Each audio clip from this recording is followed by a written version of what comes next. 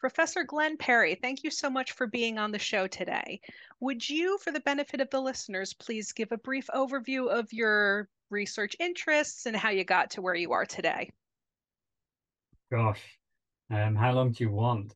Uh, so, I suppose, like a lot of researchers, I, I have a, quite a, an increasingly broad range of interests. But fundamentally, at the moment, my work is being focused on applications of blockchain for the benefit of supply chain.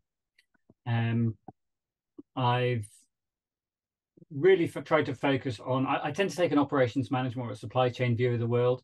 I'm really interested in value, what value means, uh, and some of my work then sort of spans over into what is value and gets quite philosoph- philosophical, asking uh, when we look at value, is it is it somehow a measure of what is good, and then what does good actually mean, and the different ways that that value can be perceived, everything from money to social good, uh, all, all those sort of constructs I explore.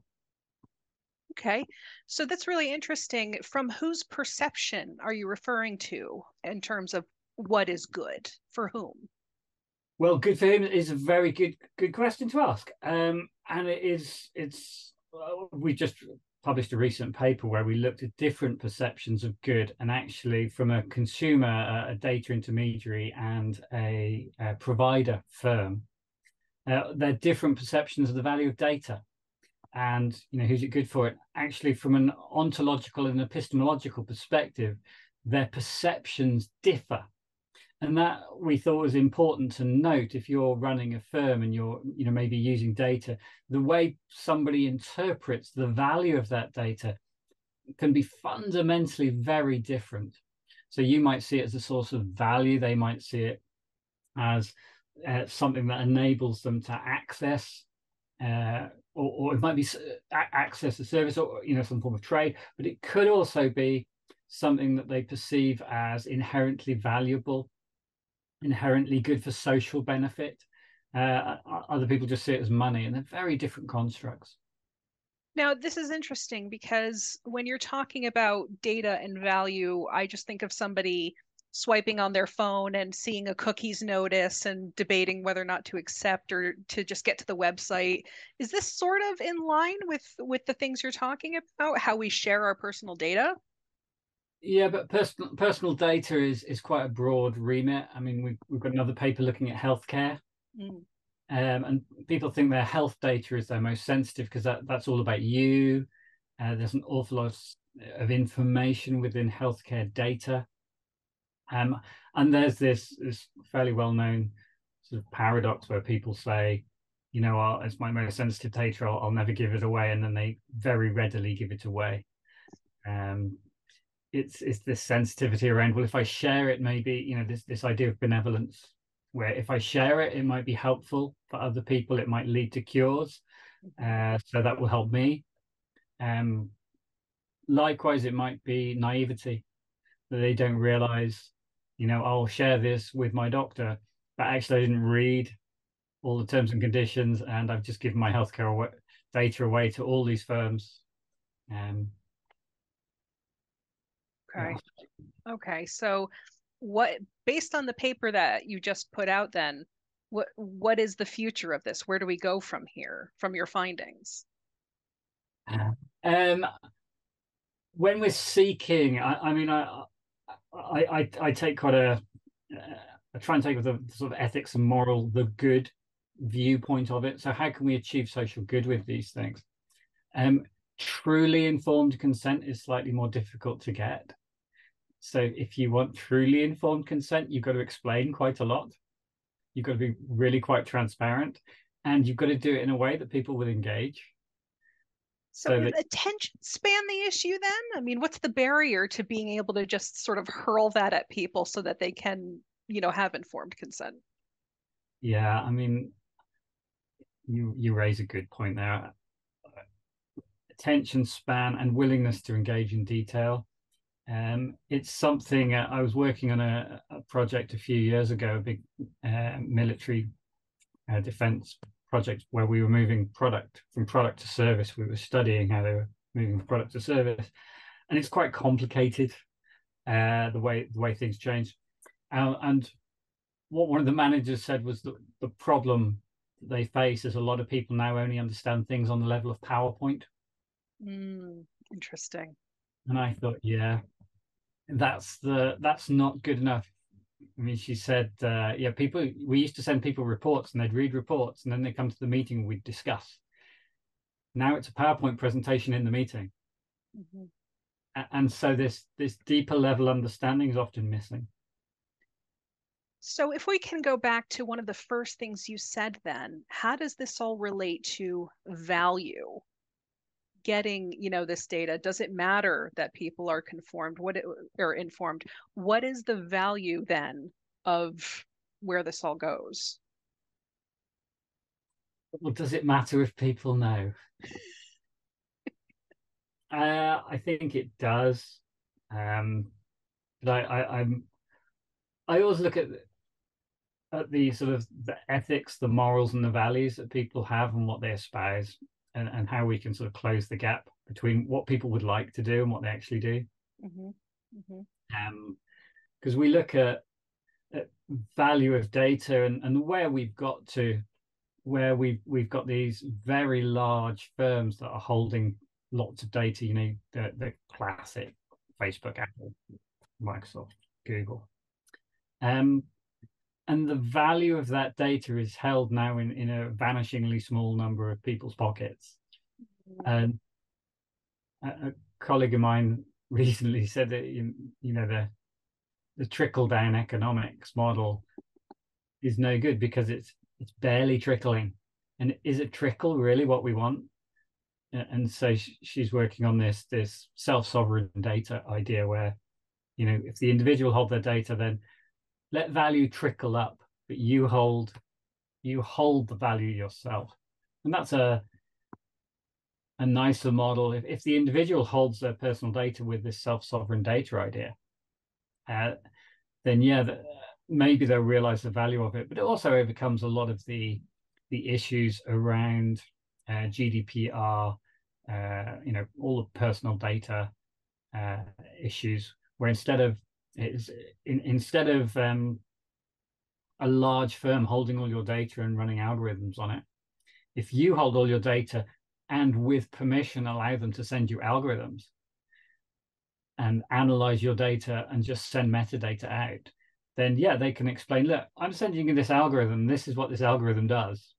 I think that's maybe better informed. It's a Dataswift is is is the firm um, which originally was Hat. We were part of starting that many years ago, but it's now it's now grown, and I'm not really not really engaged so much with it. But I think the the idea is really interesting that you flip the model effectively. Now, controversial question. As it relates to, to value and all these things, the more powerful companies get, the more powerful data gets that the companies hold, where is the responsibility or is there a responsibility to cultivate trust with the consumer? Is responsibility is interesting as a construct. Um so trust i mean blockchain we've spoken about people say oh blockchains are you know uh, provides trust. Um that's something we argue with in our research on when we're looking at blockchain because trust is a relationship Trust is a relationship between parties. And so technology can only help that relationship develop, but your actions can destroy that relationship. And instantly. Exactly. Yeah. And we see that, you know, with with individuals' behaviors can take a firm down. Mm-hmm. You no longer trust them. Um, so trust is something to be managed carefully. And it's hugely important because the moment you no longer trust, you start to withdraw from that firm. Um, though, again, people's actions, you know, if, again, thinking more recently about the, the whole Facebook uh, data analytica scandal, um, yeah, they were caught mining data and selling it and what have we. Um, yeah, how many, though, how many young people on Facebook these days? I think uh, vanishingly few, just few people like me, maybe in this barren wasteland. yeah, they've all gone to uh, much less functional platforms. much shinier objects, yes. Shinier objects, less functionality. But it's uh yeah, trust is hugely important. And you know, that's one of the things that blockchain is supposedly uh, able to facilitate. It doesn't replace it. It just helps you establish and build trust. Now, this work is relevant, timely, and important, as the you know boring management experts may say. The Future of Work Research Center tries to coordinate, connect, and or create.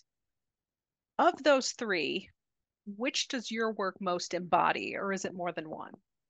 Um, I think when I, I look at some of the when we're looking at the blockchain supply chain things, mm-hmm. uh, you've got coordination. Um, on what's it trying to achieve? I mean, blockchain. For those who who who maybe don't really know, uh, it's it's it's the technology that underpins cryptocurrencies. Okay.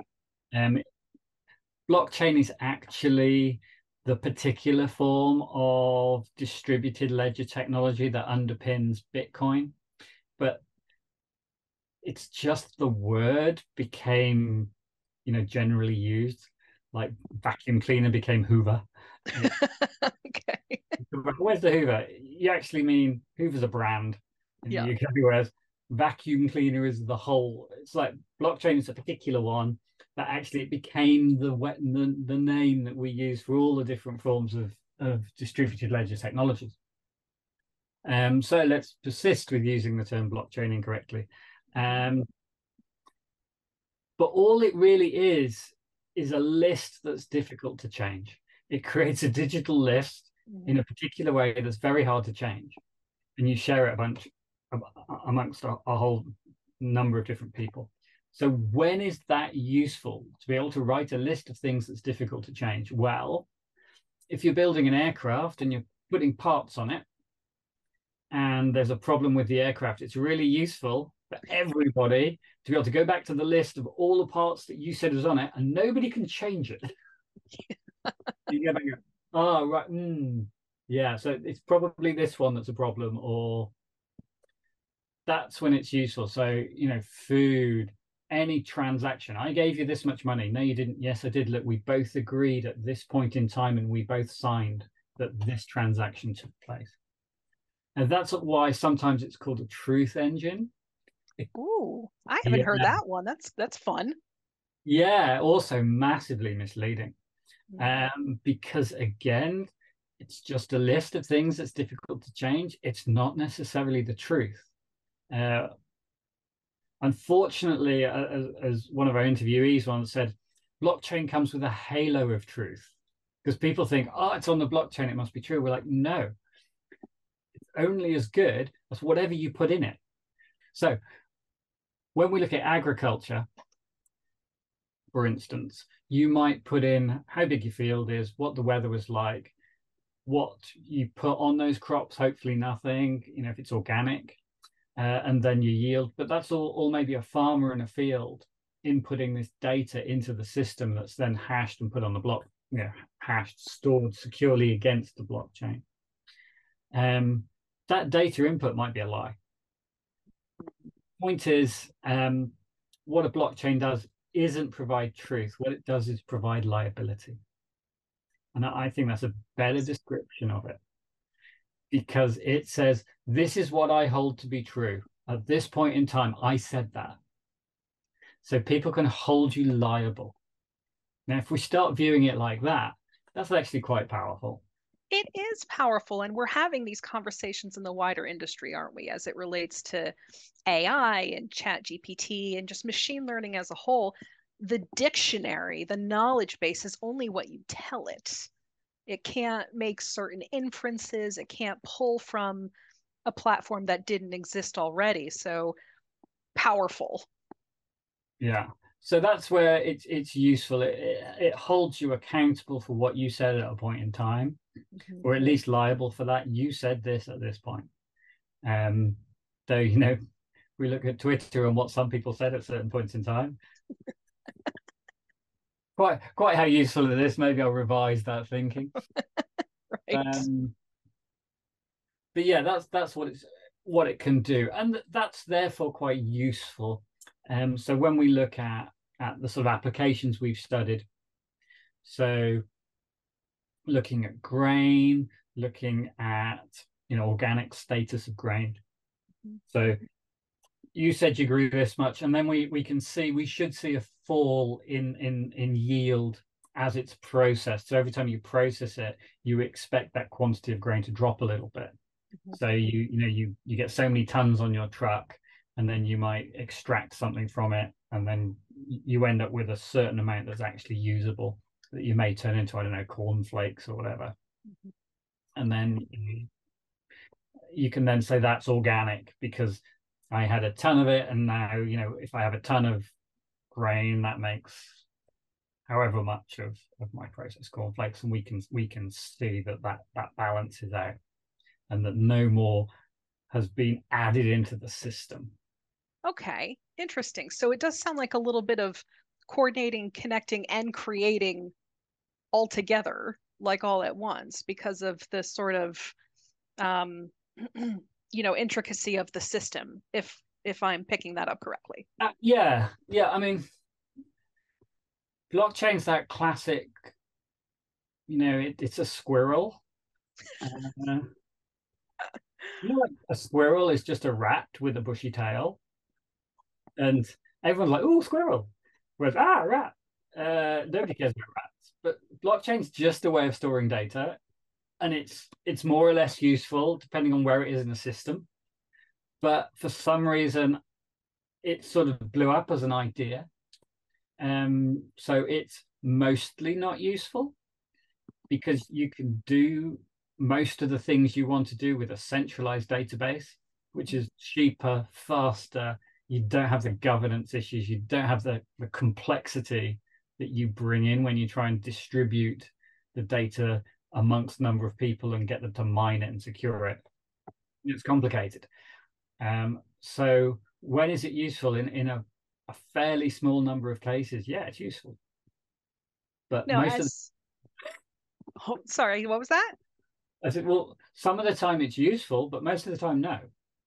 Um, and that's again, people are increasingly learning. Oh, yeah, actually, why would we use it here?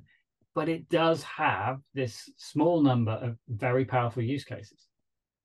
Now, as somebody who prefers squirrels to rats, yeah, and as someone who used to hear the term blockchain and sort of have like the eyes glaze over and it go over my head, I appreciate the way you broke that down to sort of the lay listener. So thank you for that explanation. It's far more fascinating than I initially thought. Again, I will confess. Um, to this end, because it's far more interesting than I imagined, can you tell us about your most fascinating project to date? Gosh, I mean, you know, as researcher, the last paper you wrote is the most fascinating, and then the next one I'm about to write is the most fascinating, and those ideas. Um, but some of the things, uh, you know, I really got got fascinated, interested in blockchain. Um, when I met uh, this guy, uh, Trent McConaghy, at Digital Catapult in London, and this was years ago. This is before NFTs was a thing, and he got this this uh, project he was working on, um, looking at provenance of digital art, and his wife Masha and him and a couple of others were developing this blockchain project, which was fascinating because the market back then for digital art was very small and the projections for growth seemed large at the time. And I was like, surely digital art won't grow that big. Um, and you know they were massively under what the market became at peak. Um, but yeah, they built this this blockchain provenance system where you registered your art, and then it, it showed who you sold it to. So I mean, the problem with digital art is anyone can have a copy Um, so, but who's got the original? And then you've got this sort of, well, is there such a thing as an original when copies look identical? Well, you could say, yeah, that's right. But then there is something about the, you know, who owns the original, who's who's notionally the custodian. And that's that's what it did. And I was really fascinated by their work. They were way ahead of their time. I mean, really genius level insight these these guys had, had got. And they developed this great system, uh, built their own blockchain uh, system so that you know you registered it and you could exchange it and it was very clever. And that I was really fascinated by that. And unfortunately, they, they were so far ahead of their time uh, that the whole project didn't work. Uh, NFTs eventually came along and it all blew up, but they'd moved on by then. Um, but yeah, that that really got me. I was like, yeah, I can see why this is useful because you're you've got this asset, notionally a digital picture, and you can trade it, and then you can use things like you know reverse image lookup where you can scan the web and say you've got my picture and you're not paying me any you know rents or, or whatever. Or you could send them an email saying look you're using my image you owe me money or you're using my image can you just write this image belongs to underneath it? Or you're using my image i acknowledge that that's fine. You can you can do as you like. Um but yeah that that was fascinating and that really hooked me in their insight into what blockchain could do. And blockchain just be part of a system for mm-hmm. provenance of digital art. That was um, what was their system called? Ascribe uh, they created. But yeah, it's all part of the system. So that fascinated me. We were working, you know, I, I spoke earlier about Dataswift and the self-sovereign data. Uh, I was asked, is is blockchain useful in that space? When we trade our data, is, is it w- worth tokenizing it? Actually, we spent a lot of time looking at and decided it wasn't really at the time useful to to have a blockchain sitting in the middle of this self-sovereign data system. Maybe at some point in the future we might think so but actually that's why i'm always it's useful in some places. We didn't see a role for it at the time and still don't. In that particular space maybe something will emerge so we're always open for that. And then other things uh, came through. So we uh, we looked at a number of food supply uh, organizations, and that's quite useful, tracking food through the supply chain. So, uh, fish and grain and baby food and wine. So, we, we wrote a little paper. Uh, I wrote that with Mike Rogerson, who's now at, at Sussex. But we did this paper looking at different you know applications of blockchain where it's being used to provide provenance for uh, foods.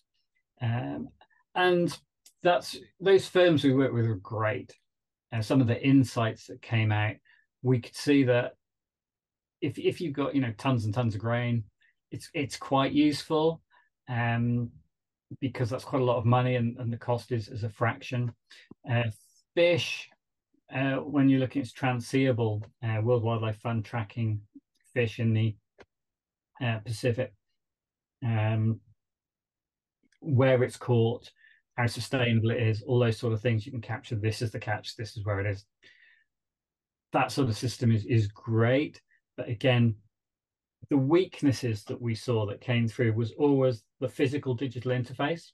Mm-hmm. So if you've got a physical object like fish or grain or wine, how do you link it to the digital world?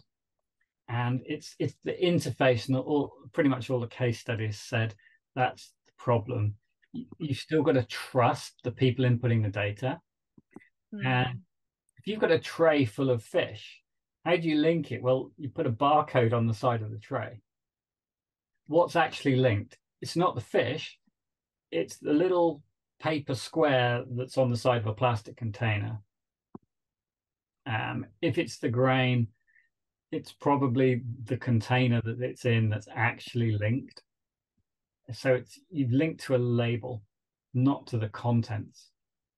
So there are so this is terrifying in a way. There are so many multiple layers where you just need to trust or you choose to trust Yeah. Well, Tech Rock, who did the baby food, what they'd done was it was in China and there'd been a baby food scandal where they'd got all sorts of unpleasant things put into baby food and then sold as cheaply. They took the tin and they put a RFID tag over the top. So if you tried to open it, it broke the tag. And then there's a little QR code on the top. So the consumer could scan the QR code and it will show this is what this tin should be. And obviously the RFID tag could be uh, traced and it would show you who's handled it and where. So you got real insight into where has that tin been and who's touched it. Uh, that's great, but as they said, you know, it's really good. The limit with it is the cost of that means it's got to be on products that can sustain that margin. So baby food, people will pay to know that's safe. Wine, similar systems we saw in wine, uh, where you know, but wine's got a, quite a nice margin on it.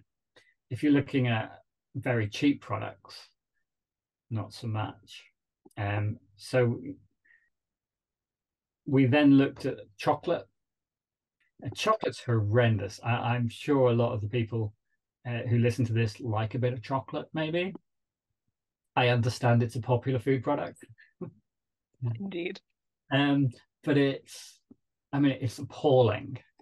The the slavery, uh, just just hideous things that happen in that supply chain with modern slavery, with environmental damage. It's you know mostly horrendous.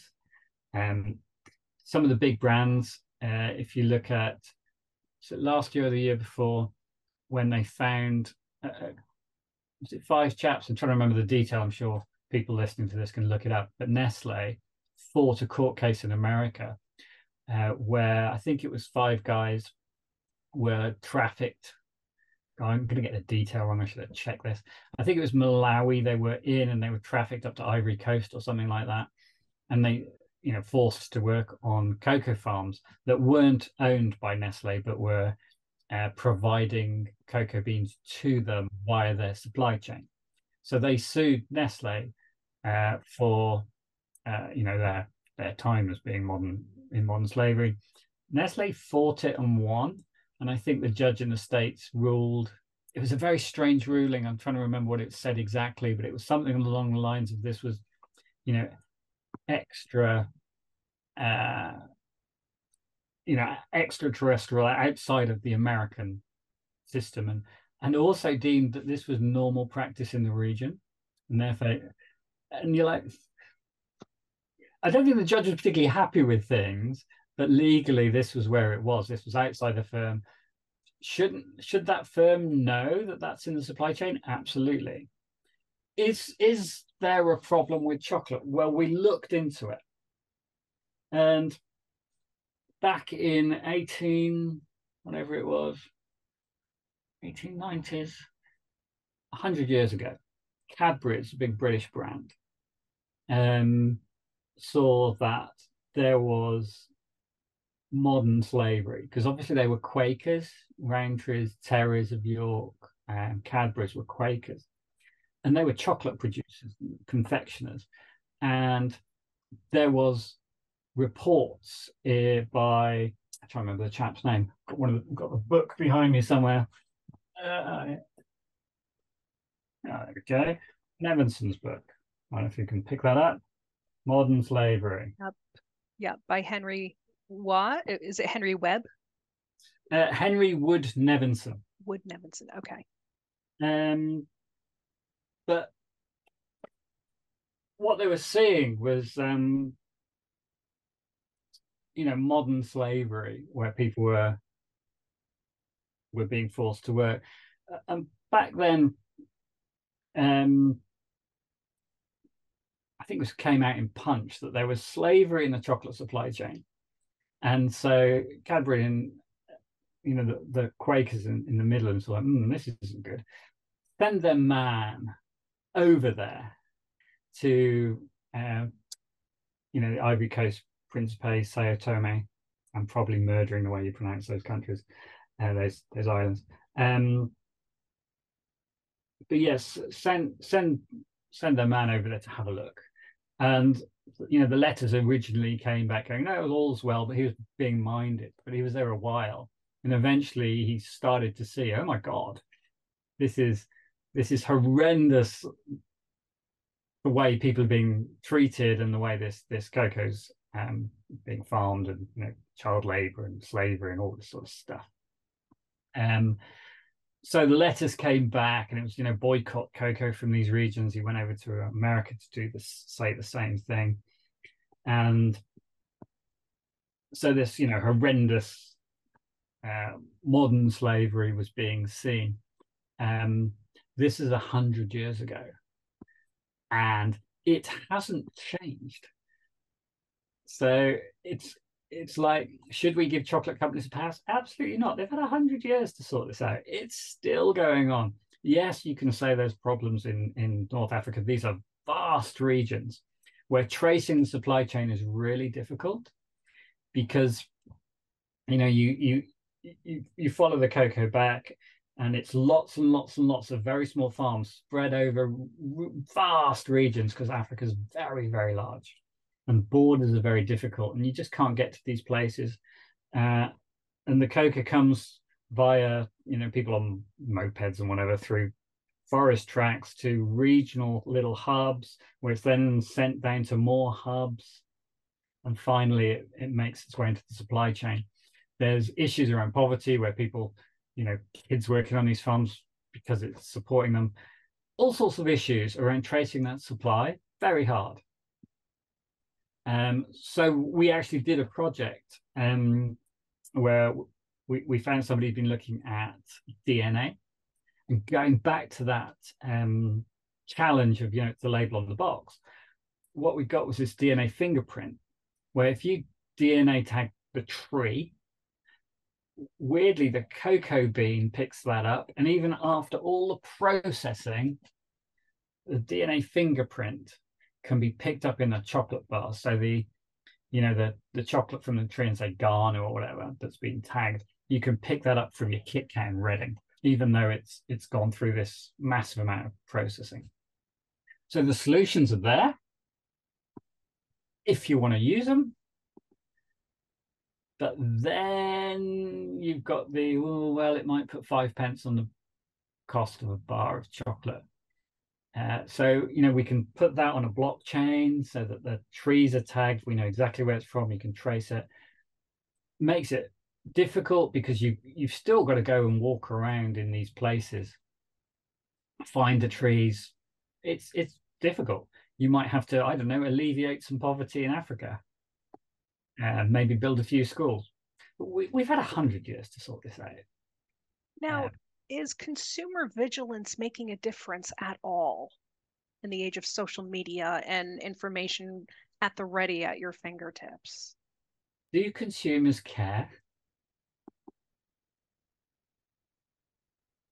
Hmm. Guess that's uh, the question.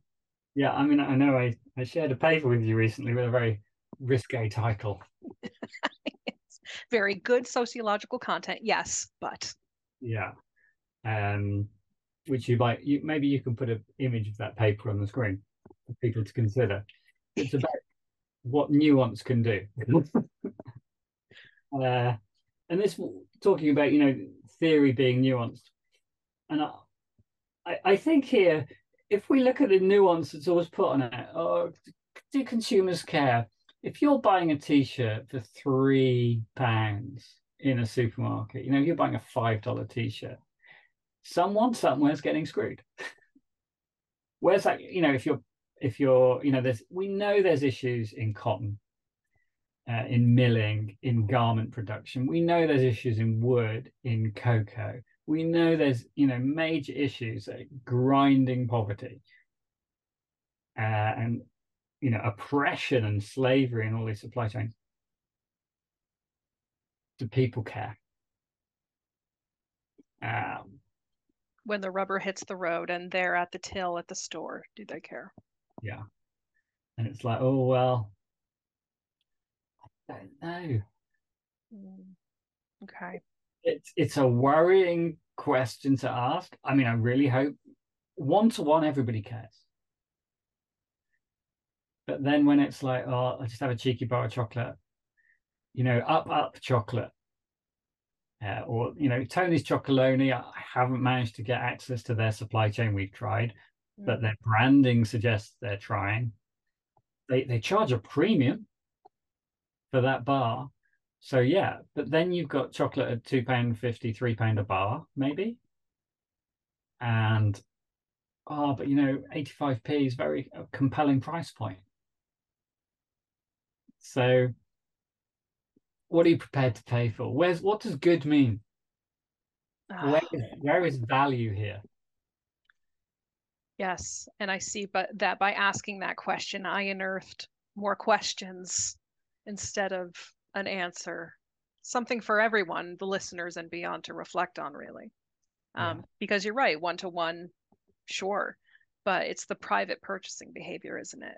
That that's really going to tell the story. Look in your cupboard. Would you honestly admit what's in there? yeah, you know, those chocolate bars, mm, how ethically sourced are they? Mm-hmm. That t shirt you bought, oh, yeah, but it was cheap on holiday. Mm, great. It's, Food for thought for everyone to consider, really. Yeah, I mean, it's and it's difficult. Um, though, I, I, I'm, I'm a horrendous consumer. You know, I've always been, oh, I am spending my clothes, shoes. Um, but like last last year, I well, for the last few years actually, I've been trying to buy ethically. It's really hard. Um, and it's really expensive. So, you know, I wanted a new jumper. So I was like, how do I how do I ethically source a jumper so that I'm not buying one that I don't know where the stuff's come from? So I ended up getting a Guernsey jumper, which was, you know, wool from Guernsey, knitted on the island by people who live there. So I'm hoping that's pretty good. Channel Island Jumper Company. It's very nice. Um, I like it. Um, but it was a lot of money. I'm like, mm, you know, this is terribly middle class to be ethical. Why why is that a choice? So it's yes, it's not always down to choice. It's down to, especially in this day and age, cost of living and that it's it's what people can do, not just what they want to do. It's the extent of what their resources allow. No, There's there's definitely something around consumerism. Um, my I have a New Year's resolution. I had two this year. Oh. oh yeah, yeah. One was to read some books because you know, despite you know, I'm an academic, so people assume, oh, you must be terribly well. I'm not well read at all. God, I have to read for a living. I don't read anything. I used to be able to list pretty much every reading book that I'd ever read. People, oh, you must have read Dante or you must have read Shakespeare. I've not read a damn thing. Um, so I was like, right, I will read more books this year. So a book a month, and, and a friend of mine challenged me, and we keep tags on each other. Have you? I've been reading. I mean, don't get me wrong. I've been reading Dick Francis novels, which are about horse racing. Um, and here's the other one about Jack Reacher. I'm trying to remember his name. Lee Child. Lee Child. Yeah, you know, this is not high level intellectual engagement, but I've been reading a book a month. But the other, the other New Year's resolution I made was I wouldn't buy any clothes. And I go a whole year without buying? And that was really interesting for the first few months because you wander around. I've got kids, you know, you wander around stores and you see all these deals. You think, oh, I'll just buy, I'll just. I'm like, so I stopped, and it's it's been quite interesting. Like, just can you go a whole year without buying any clothes? At some point, everything you know bits are going to wear out, but actually, yeah, and going forward, I'm going to see how long I can go. Yeah, I'll, I'll end up replacing some bits, but wearing stuff out, giving stuff away, I'll probably end up with a small amount of stuff, but I'm going to buy better. I'm, you know, for those who know me now, do have a particular issue with shoes. I have a lot of shoes. Um, but again, you know, starting to look, you know, what shoes do you buy?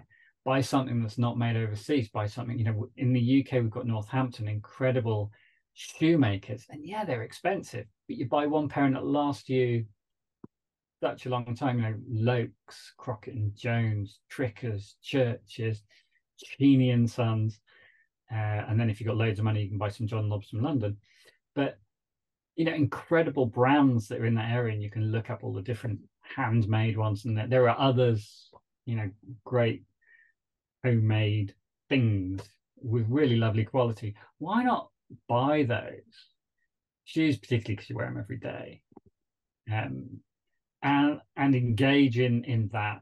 Yeah, okay, it's maybe privilege of having a bit again middle class privilege, but as a kid, everybody had one pair of shoes, and now how many pairs do you actually have?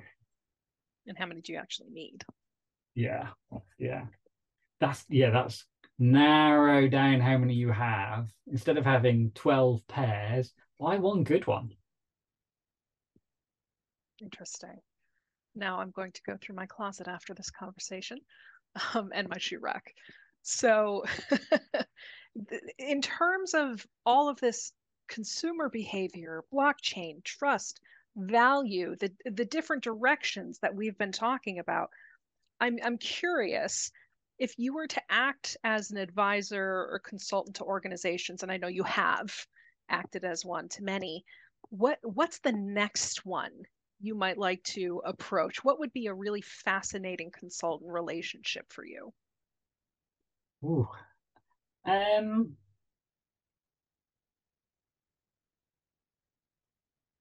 I'm I suppose there's two things I'm really interested in. One is is seeing you know, what am I actively doing? Seeing applications of blockchain. We're looking at the border, uh, the UK border, and and how how can we help goods flow? Because uh, you know we are in a global supply chain, and if we can, if like data as a supply chain, data is only really valuable if it flows. If you're just sitting on it, there's no value. It's just a liability, really. You're paying to store something. So stuff needs to flow. I, I am, despite all the the rhetoric. I'm really into you know trade, open markets. I think that's where you see wealth being shared. You know, why is Venice uh, as it is? Because it was a, a, massive trading hub. Uh, so, and you get this this richness where you know cultures intermingle, and you know people share experiences, and where you know increasingly people talk about globalization is it really globalization? Where's the intermingling? You know, let's let's open that up. I think that's where you meet people from different cultures. You understand their views of the world. Their, you know, to take Gadamian view, their prejudices, their their prejudgments of how things are, and you you you have yours. But when they're exchanged, you you broaden your horizons and you understand the world through other people's eyes. And that's where, to be honest, the world becomes a better place. Um, so you get this really open trade. And looking at UK, you know, I'm absolutely not a fan of Brexit. Um, but if we do get hold of our borders and we're, you know, that's a great, probably the most important bit of legislation that's ever happened is, you know, the uh, electronic uh, border act that's going through electronic um, trade. It, it, basically, what it does is um, Electronic Digital Trade Act recognizes the legitimacy of a digital um, representation of the physical good so that you can because it used to be you know when a container comes in there's a lot of physical paperwork uh, and that has to go with it's posted. And what we what we can do is say no actually if, if you hold the digital document that means you own that and, and you can transfer that and there, there's all these these it's, it's an interesting act where they say well you must be able to swap the digital the physical and the physical to the digital. So those things must must be able to be exchanged. Um, but they link back to the asset the product whatever it is that's being shipped. Looking at the uk borders if you can get uh, goods flowing through so the, the digital supply chain matches the physical uh, and then that's where blockchain's useful. You know this bottle of wine started in Australia. It was handed to this shipper who handed it and put it on this ship. Then it spent this much time on this ship, and here's the data. and then it, you know these intermediaries had it and now here it is it's sitting in this supermarket and one click you can see the entire supply chain you, and you can check it on the bottle using some hidden technology you know speckle pattern or rfid or whatever you can get full visibility and then maybe somebody you know in another country somebody's tried to clone that bottle but they click on it and it goes oh no that that bottle's actually in the uk on a supermarket shelf. You don't have it. Whatever you've got who knows?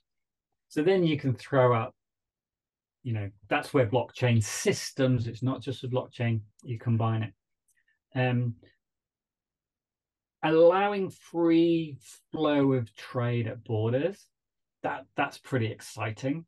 And that's you know we're, we're doing some work there. So we can open up those borders using digital technology. Uh, and you know the government can then get a view straight in, uh, uh, mainly for taxation and control, um, to make sure nothing illegal's flowing. And then you can, you know, hopefully we can develop AI systems because really you're looking for strange, strange quirks in patterns. So you've got what we call trusted traders. So they can bring their goods straight across. You don't need to stop them at the port. That lorry can keep moving. And but then when strange things happen, hopefully the technology will pick up. That's a bit weird. What happened there? Just stop it. And then with the blockchain, you go, right, you declared all these things. Let's have a look at what you've got. Well, those things are different. Now you're in trouble because you're liable. That's really exciting because hopefully that reopens up the UK. Uh, and if you can get a system to work here and demonstrate it, hopefully other countries will then either take it on, adopt, or do something similar, develop their own that's on the same, as long as we can get integration. And you know, if you can do it on goods and services, then people then hopefully you can then move to real nice flows. The issue, people's always the hard point. When we were looking at um, Minespider, which is a really great firm, um, they've been looking at at, at um, tin supply is, is probably the most interesting. Uh, tracing tin from Peru all the way through, you know, through the supply chain. Um, the, the, the difficulty is always people because you can tag products, tagging people not allowed. So you're still going to need audit to look at the people, and getting people moving across the board is quite quite hard because do we want to go to facial recognition where your mm-hmm. face data is captured somewhere you know we need some form of zero knowledge proof where they don't have the data but maybe they have some metadata that you know some trusted system where i hold the data but you get enough to know that i am me so those sort of reflexive systems on borders it gets quite tricky and that's where there's some you know great research going on but if we can get you know really open borders and flow and then maybe we could get back to global trade um, that's safe and secure and good in every aspect of what we mean by that. That's pretty exciting, I think. That get... is That is, again, timely, relevant, exciting. Mm. So that does sound good. Um, Difficult, though. well, you know, we'll get there or we won't, I guess. Yeah, yes. that um, so true. That could that could be a great epitaph. We'll get there or we won't. Yeah. Probably don't yes. want to work in marketing for an airline. I, I, always did consider myself a bit of a philosopher in that respect. Um, now to pivot like 180 degrees, uh, I am wondering if you would be ready, willing, and able to recommend one book, one scholar, and one movie that might be relevant or interesting to your work. Could you recommend that? Um, okay, let's. Hmm. Academic book or normal ready book? We can do normal ready book or academic book. See, see how well I use the words. That's the only way I'm going to refer to it from now on. A ready book yeah. and novel of some description. Um, so Laura Shepherd Robinson's been writing some great books. Um, her latest one, Square of Sevens, is, is really I really enjoyed reading that. Um, Daughters of Night before that, but the the one the first one she wrote, Blood and Sugar, was about the Middle Passage, which was the uh, about the slave trade, where you know goods would be sent to North Africa, traded for people. People would be traded from North Africa across to you know the Caribbean, whatever islands, and then sugar and things would be brought back up to the UK. So you got this middle passage where people were trafficked, and it sort of deals. It's a it's a really great read. It's she's she she sort of wraps history and London and skullduggery and crime fiction uh, linked to in her in that particular case something that should have really happened. Turner even painted a, a picture. I think was a book. Was a boat called the Zong. I'm trying to remember the name of the boat. He painted it sinking, but it was sort of hushed up at the time. But that's that's a good read because it, it sort of brings in some of the stuff we talked about, and it's a you know a, a normal everyday book, not too academic. Um, as an academic book, gosh, there's so many good ones. I like. I've got a few up here. Um, sound awful if I say read Gadamer's philosophical hermeneutics because it's terribly. Yeah, it's like mm, you should read philosophical hermeneutics. Great read, but the title's off-putting, isn't it? Um, George Moore's Principia Ethica, Frankena's book on ethics, moral ethics, really nice Prime, and There's some bits in there which are outrageous when you read it. You go, did you really write that? Um, but they're nice go-tos. Um, th- those books on you know morals and ethics. Otherwise, you know, I'll talk about favorite papers. but yeah, books, those ones, films. You know, I watch a lot of films. Um, now, High Fidelity, the book, um, was made into a film, but in that, they they they always argued. Well, part of the, the the thing of that story was they argued about you know top X number of top 10, top five. So I have a top five favorite films. So could I pick one? No, because I, I watch loads of films. But my five favorite films would be Casablanca, which is just glorious from start to finish. Love Humphrey Bogart. Uh, the Big Blue by Luc Besson. I think it's his best work. It's about how men are obsessive and it's beautifully shot. It's about free diving, which is just how far can you swim to down? Great film. La Haine, uh, which is a French film shot in black and white. Uh, just it, that's a that's a film about how the tension builds over time with with three central characters and and how the you know the police put pressure on them and eventually things explode really great film and brazil by terry gilliam it's a it's part of his trilogy of, of Time Bandits, which is youth, Brazil, which is middle age, and Baron von Munchausen, which is old age.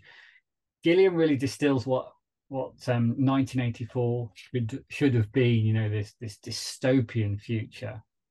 Um, it's it's I think it's a work of genius. Um, and the last one is uh, La Notte di Cabiria, The Night of Cabiria, which is Fellini. Um, it's just beautiful. It's sort of about it's about hope, but it's it's it's you know it's a Italian harrowing evening of this this this woman, but it, it's um yeah it's, it's a beautiful Fellini film, which yeah it's, it's not the easiest of watches, but it's it's lovely. You can watch a little Dolce Vita as well. But yeah, those are my top five. You know, honourable nod to the Before Sunrise, Before Sunset, Before Midnight, that series, and, and you know, it makes me sound really, oh, look at him liking. I love the Fast and the Furious.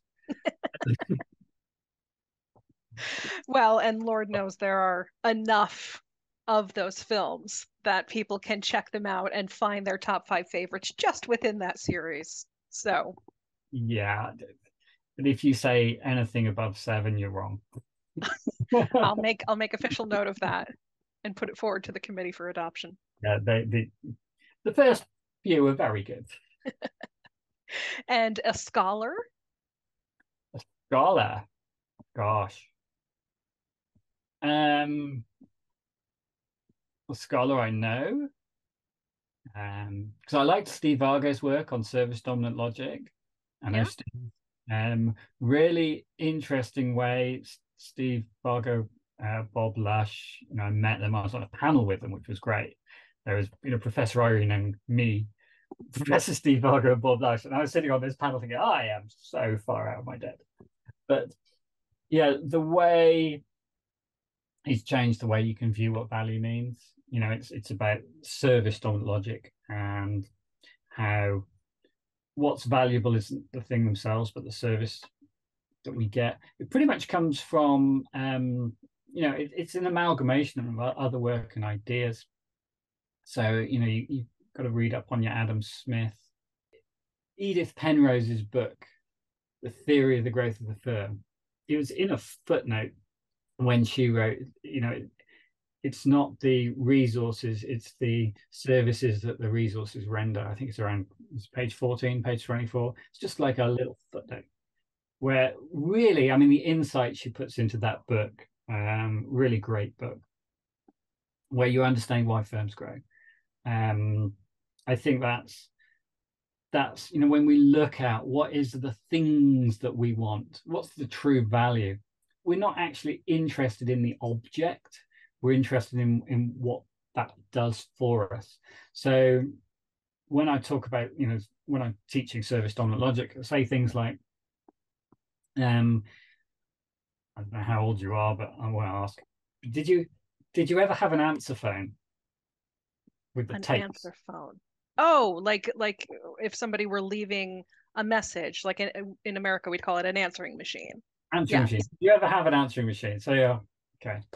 So I, I, know some of the people watching this will go, "What's an answering machine?" But back in the day, you used to have a tape deck where somebody would phone and it would record their message on a tape, and then at a point in time, that became digital, and a whole industry of people who used to buy, uh, who used to manufacture and sell answering machines disappeared and nobody cared. Because what you want is the service of being able to access your messages to have them saved. And you know that that whole industry was just lost. So when people talk about oh brand loyalty i don't believe them because if something better comes along that maybe destroys an industry like it's why you know digital transformation that whole industry went why because the physical product became digital. And we were never interested in the physicality of it. We were interested in the services that the resource rendered, which is you know Penrose, and then came into the service dominant logic, which was which was Steve Vargo's thinking. And so we, if we look at well, what is it that these things do? So when we're trying to innovate, what are the things around us? What do they actually do? What am I? Re- what's my value proposition really? and then how can I deliver that better? So I'm I'm not interested in the answer phone. I'm interested in the message being saved. Nowadays, I mean the phone. You know, we we have our phones. When was the last time you phoned anybody? It's it's it's uh the value proposition has changed. What is good about a phone? Oh, it provides me access to news, TV, messaging and you know to a certain extent knowledge. And frankena's work there you know what the fundamental what is fundamentally good. Uh you know it's a big question. What is good? What is it to be good? Um and good is either perceptual is it you know is it perceived does something have to be perceived to be good or can it be inherently good can something just be good that's a great philosophical question. And it goes all the way back to, you know, Plato, Socrates arguing about or, or proclaiming that some things are inherently good, intrinsically good, and some things allow you to access things that are intrinsically good. So, and also some things can be both. Great. Uh, George Moore saying that no, actually, good is always perceptual. Things are good only in if they're perceived to be good. Um, but when you sort of look over time and people have done this, and that's part of Frankena's work, is things that seem to be good, like the aesthetic. you don't specify what is aesthetically pleasing because that changes, but things being nice to look at is always perceived to be good over time. What those things are changes, but the perception that aesthetic is a good thing, that truth is a good thing. I'm not sure. I would say maybe truth. Truth sometimes ooh, can be a difficult thing. Can get in a lot of trouble. Not always good, but good for who. Um, knowledge is seen to be good. Um, so are these core truths, uh, are these core values, are they are they inherently good? Uh, those are really interesting questions. Not sure where I was going with that. no, no, it is it is fascinating. And staying in the fascinating thread, you were asked to bring one object to the interview that might be meaningful for our discussion today. Would you please share what your object is and why you brought it? Completely failed to bring an object. That's all right. I can edit that out. um, I forgot all about the object. Professor Glenn Parry, after this robust and fascinating conversation, people will no doubt want to learn more about you, your research, and the future direction of travel for everything you're researching. So, can you please share how people can learn more about you?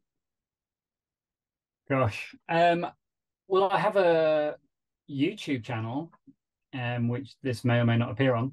Um, a good professor is the Monica, but if you look at Glenn Parry, hopefully you'll find me in loads of videos I can uh, link it in the show notes as well. Okay, yeah. So I share a lot of uh, uh, academic content and ideas on there. Um, try and summarize papers. There's an awful lot of strategy and supply chain and current work. We make little films because I think it's quite digestible. And then we link to papers, the academic papers. Again, it's that level of, you know, you'll understand something on the level of YouTube, but read the paper. That's just my interpretation of my colleague David. We've made loads of videos but yeah, that's our interpretation of something. But obviously, if you read, again, Gadamer says we read with purpose. When we read, we read with intent for us to get something out of it that colors the way we view the world. Um, but yeah, so I've got that. I've got LinkedIn, uh, email, Twitter. You know, I am professor of digital transformation. I have an awfully big digital footprint online. So I always say when people say, "Oh, how do I find you?" I say, "Well, I'm online." And if you can't find me, it's a you problem, not a me problem. I'm just there. I, I'm old enough that I was, I was, you know, around since the birth of the internet. You know, I got through my undergraduate without email. So back in your day, the internet was delivered to you. It was mailed to you. You found it in libraries. Uh, when I started, there wasn't an internet. Yeah, it was back in the libraries and microfiche. I'm not, you know, I'm not even that old. Take notes, kids. There's something to be learned from those who persevered without internet. Yeah, but well, it is, it is very useful. Indeed. Professor Glenn Parry, thank you so much for taking the time to chat with us today for the podcast, and we really appreciate your time. No, thank you so much. Hopefully, my vague meanderings have been mildly amusing to whoever has listened this far. Nuggets, nuggets of information and joy left all along the trail. Thank you for that.